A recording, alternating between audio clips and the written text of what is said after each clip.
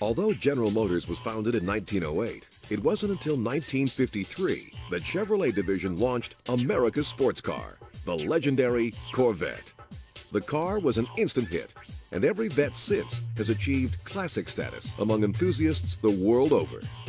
The latest Corvette is the C5, the first all-new model since 1984. Although very much state-of-the-art, it remains close to the tried and true original concept with its glass fiber bodywork and potent power plant. As with most previous models, buyers can choose either a coupe, hardtop, or a convertible.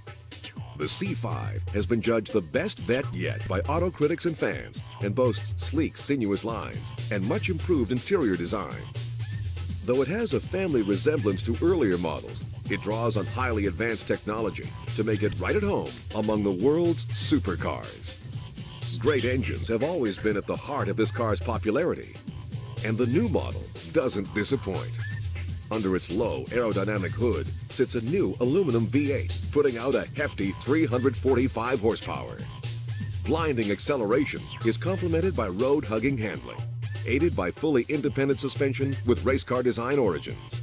Like its predecessors, the C5 is more affordable than most of its supercar rivals with comparable performance and boasts such high-tech features as run-flat tires, a heads-up display, and a pressure check system in the cockpit.